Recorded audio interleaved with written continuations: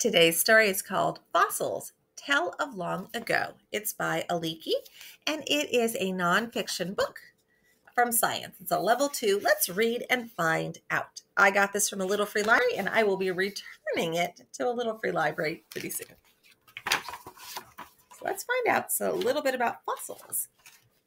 And here's our dedication for Jason, who found the fossil that inspired this book. And with thanks to Catherine Teagan, Catherine Hopi, and to William F. Simpson of the Field Museum for their help. Fossils tell of long ago. Once upon a time, a huge fish was swimming around when along came a smaller fish. The big fish was so hungry it swallowed the other fish whole. The big fish died and sank to the bottom of the sea. This happened 90 million years ago. How do we know? We know because the fish turned to stone, the fish became a fossil. A plant or animal that has turned to stone is called a fossil. Scientists can tell how old stones are. They could tell how old the fish fossil was. You see it? You can see the other fish inside of it. Nobody knows why it died. Wow, that's some catch. The little fossil is bigger than me. You can see the little fossil inside of the big fossil.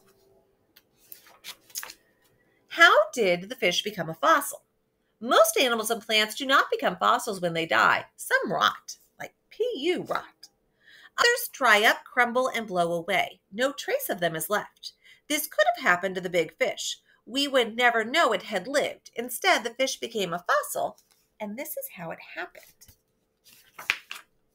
When the big fish died, it sank into the mud at the bottom of the sea. Slowly, the soft parts of the fish rotted away. Only its hard bones were left. The bones of the fish it had eaten were left too. The skeleton of the fish lay buried and protected in the mud. Thousands of years went by, more layers of mud covered the fish. Tons and tons of mud piled up. After a long time, the surface of the earth changed. The sea where the fish was buried dried out.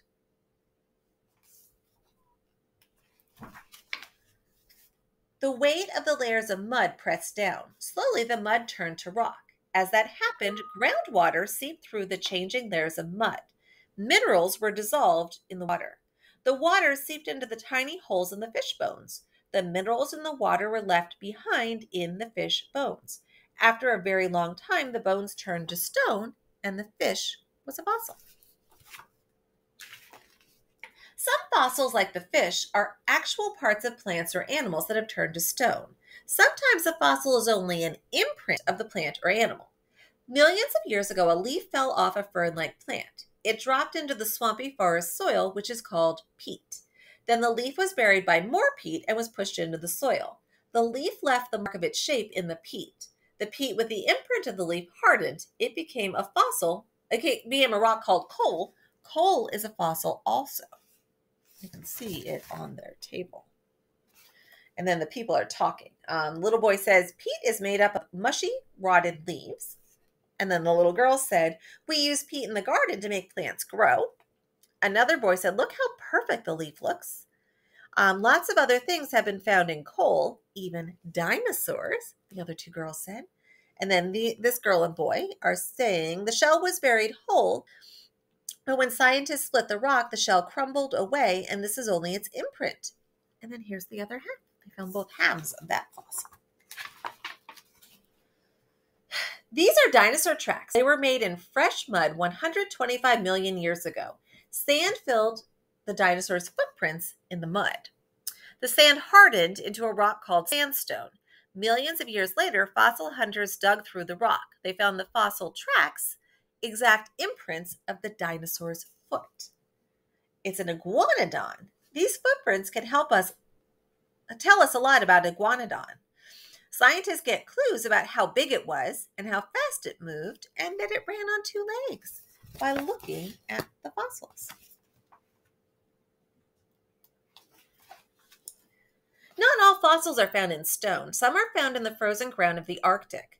This ancient mammoth was a kind of elephant. It froze to death thousands of years ago. The grass it had been eating was still in its mouth.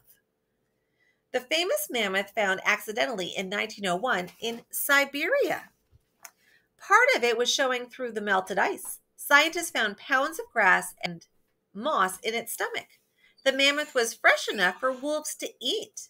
Ooh, I wouldn't dare. So it froze, and when it thawed, all that time later, wolves started eating it because the meat was still fresh. Millions of years ago, a fly was caught in the sticky resin of a tree. The resin hardened and became a fossil called amber. Amber looks like yellow glass. The fly is perfectly preserved in the amber. Other insects have been preserved in amber too. Um, things like necklaces are sometimes made out of. And this little girl says, My mother has an amber necklace. Here's a fly in this one, and a spider, ants, a cockroach, because they all got stuck in that sticky resin. Um, we've learned many things from the fish, the fern, the fly, and the dinosaur tracks. Fossils tell us about past. Fossils tell us there were once forests where now there are deserts. Forests tell us there were once seas where there's now mountains. So you can see the difference in those pictures.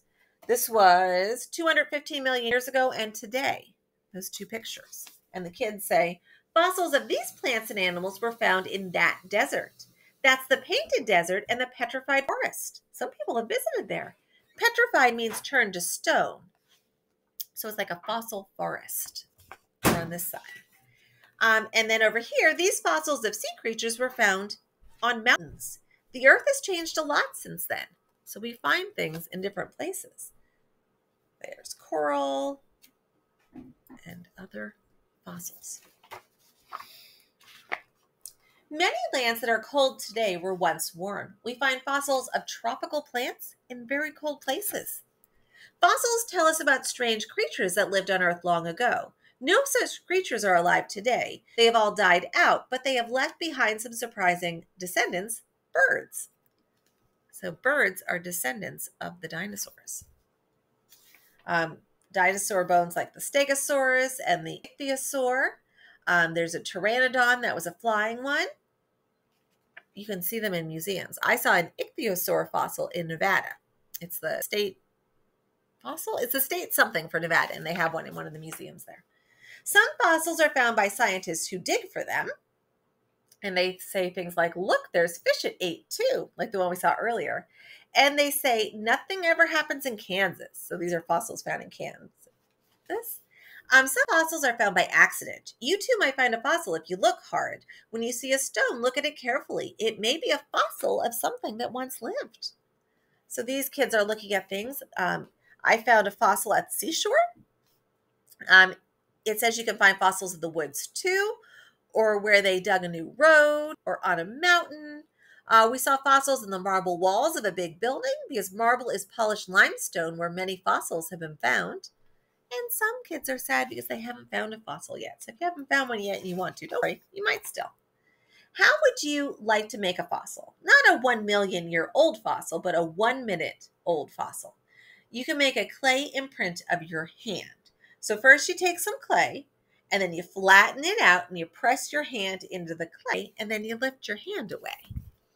The imprint shows what your hand is like. Um, the way a dinosaur track shows us how its foot was like and then you have a footprint and you have a fossil. Sometimes you do those crafts at home or at school where you make hands or feet uh, fossils out of clay or sometimes plaster of Paris.